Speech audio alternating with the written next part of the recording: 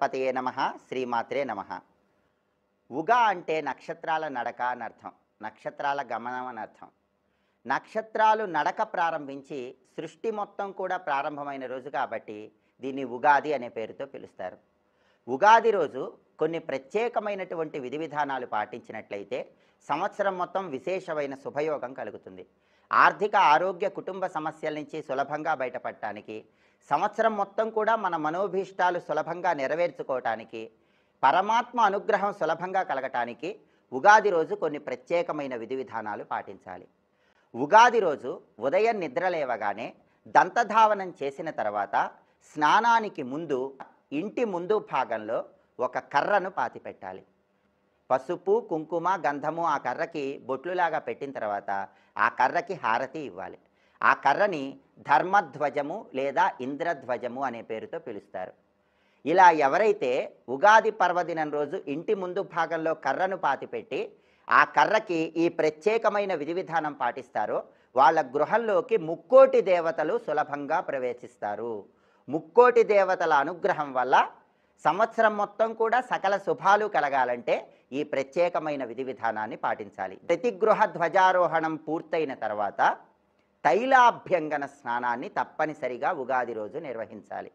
తైలాభ్యంగనము అంటే అర్థం ఏంటంటే ఉగాది రోజు ప్రతి ఒక్కరూ కూడా ఒంటి నిండా నువ్వుల నూనె రాసుకొని అభ్యంగన స్నానాన్ని ఆచరించాలి.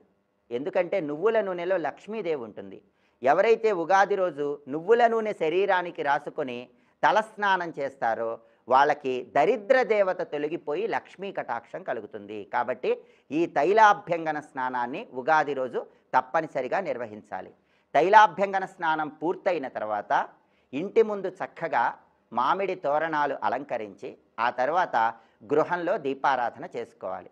దీపారాధన చేసుకునే సమయంలో ఆవు నెయ్యితో కానీ నువ్వుల నూనెతో కానీ దీపారాధన చేయాలి.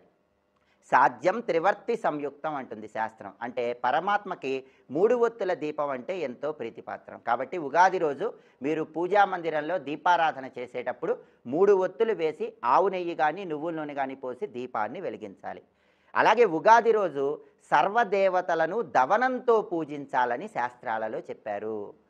ఉగాది రోజు మీరు ఏ భగవంతుడికి పూజ చేసినా సరే పుష్పాల మధ్యలో దవనం కట్టి ఆ పుష్పాల మాల సమర్పించండి. అలాగే ఉగాది సందర్భంగా ప్రతి ఒక్కరూ ఆచరించవలసిన ఇంకొక ముఖ్యమైన విధి విధానం ఛత్ర చామరాది స్వీకారం.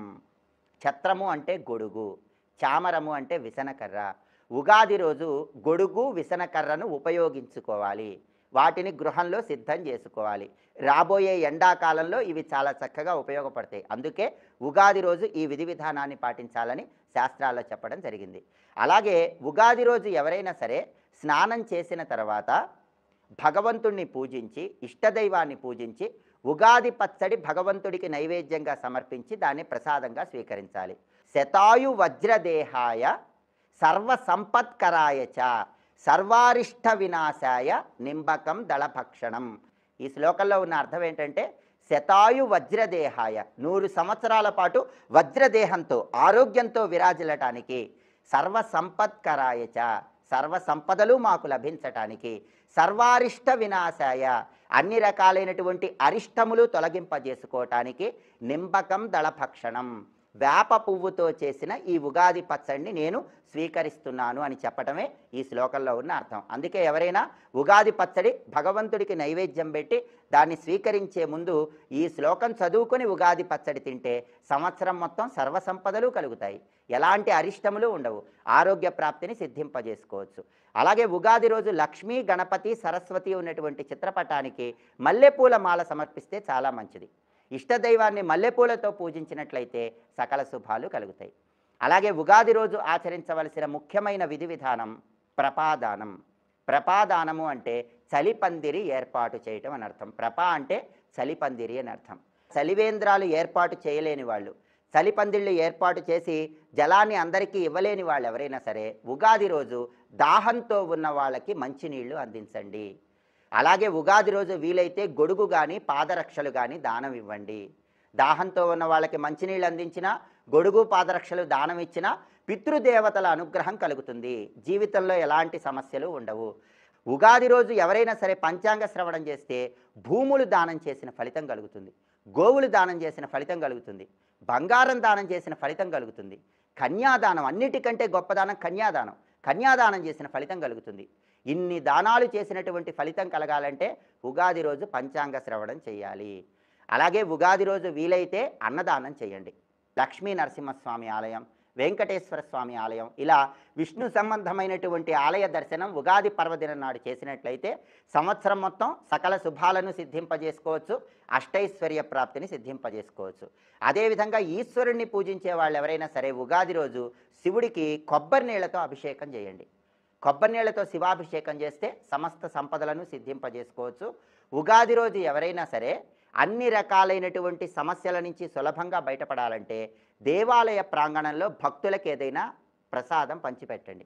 దానివల్ల మీకున్నటువంటి ఆర్థిక ఆరోగ్య కుటుంబ సమస్యల నుంచి చాలా సులభంగా బయటపడవచ్చు అలాగే రామకోటి రాయాలని భావించే వాళ్ళు ఎవరైనా సరే ఉగాది నుంచి ప్రారంభించి రామకోటి రాయటం ప్రారంభించండి.